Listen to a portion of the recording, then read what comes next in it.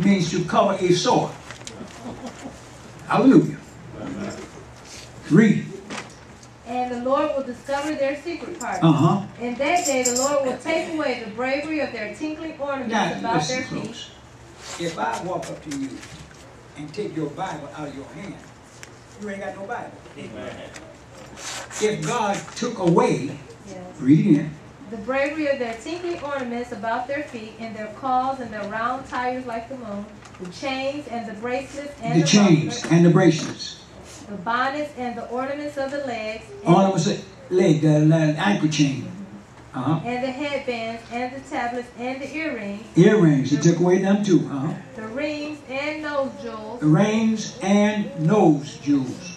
Now the Bible said he took them away. He never gave them back. I said at Mount Horeb, Moses, when he discovered his error, he took all the ornaments away from the people, and they could no longer wear jewelry for outward adoration.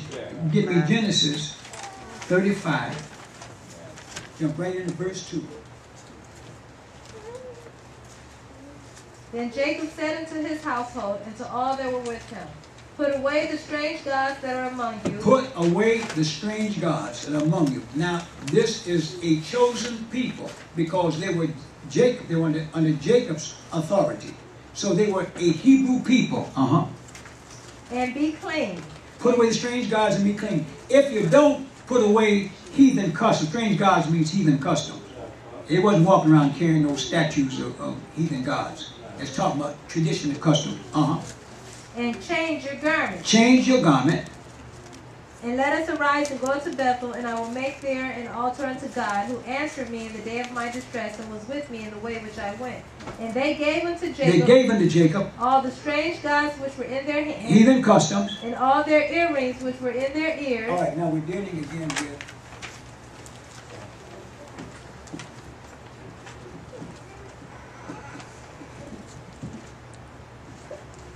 disobedience.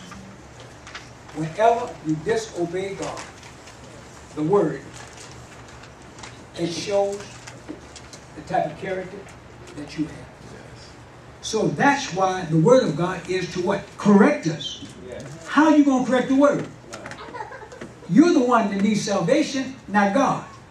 So we're the ones that need the word. Hallelujah. And the word will cleanse us and wash us. But we have to have the humility of heart to be washed by the word. We can't get angry at the preacher. The preacher didn't write the word. God wrote the word. But you get angry at the preacher because you don't want to fight with God, but you'll fight with the preacher. Hallelujah. But what they've done to the green tree, they do to the dry. So in other words, though they might uh, come against the preacher, really what they're saying, Lord, I disagree with what you are teaching.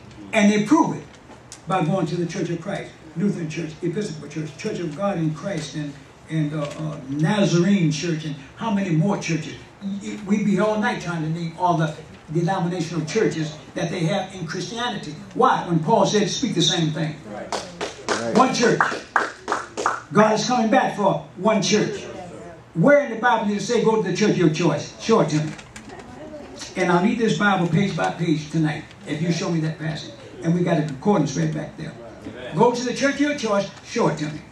God ain't never said that. That's another lie they put on, on Jesus. Why is it they have these so-called prayer gatherings and we want to have the Catholics and the Muslims and uh, if you got some Hindus, y'all y'all come too. God loves y'all too. Are you insane? God died for believers. If you follow Islam, you're not a believer in Jesus Christ. If you follow Buddha, you're not a believer in Jesus Christ. What we gonna come together for? Two can't walk together unless they agree. And I sure don't agree with you. And I know you don't agree with me. That's why you keep trying to blow up America. They just called another one the other day. And he was so stupid, he didn't even know what he was doing. He had firecrackers to, to, to light, light, light a bomb. Yes. And uh, the man said, well, he, he needed to get caught. Because he's so stupid, he didn't even know what he was doing. Had the van and everything, all the explosives, but didn't know how, how to make it work. Thank you, Lord. But now he'll be all right when they finish with him. Yeah.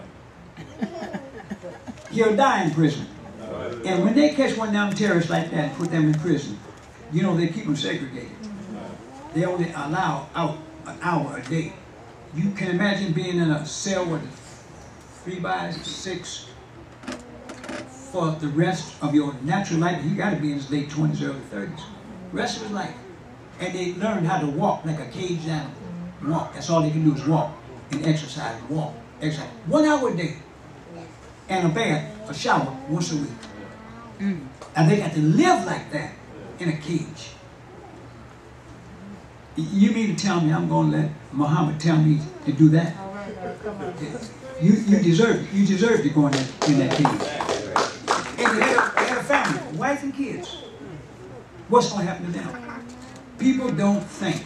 But whenever, y'all hear me, whenever you let a devil set a trap for you, if you're not covered by the blood of Jesus, you're going to walk straight in.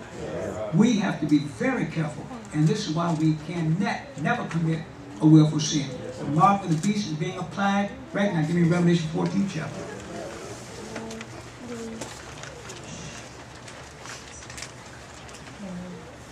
Uh, 14 chapter Revelation. Uh, verse, verse 8. And there followed another angel saying, Babylon is fallen, is fallen, and the great city, that great city, because she made all nations drink of the wine of the wrath of her fornication. Now, Babylon is named here because I told you before it was a Babylonian influence that really corrupted and brought an apostate movement uh, to really uh, decimate the Christian church. When Constantine took control over the Christian church at Nicaea, 325, he introduced Babylonian festivals, Christmas for the birth of Tammuz, Easter for the death and reincarnation of Tammuz. He introduced the Easter egg. He introduced the Christmas tree. He introduced uh, uh, uh, the three God doctrine. He changed water baptism from Jesus' name to Father, Son, Holy Ghost. And I defy anybody watching over YouTube. I dare you to correct me.